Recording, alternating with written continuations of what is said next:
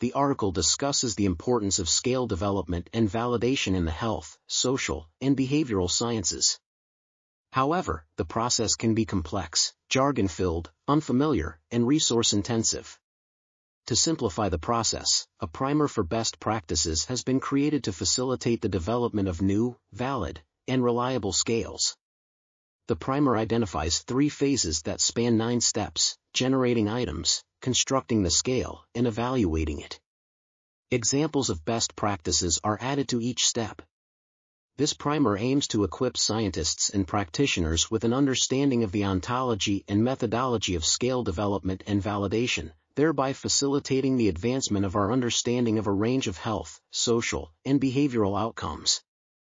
This article was authored by Godfred O. Boateng, Torsten B. Neilands, Edward A. Frongillo, and others. We are RTCL.TV, links in the description below.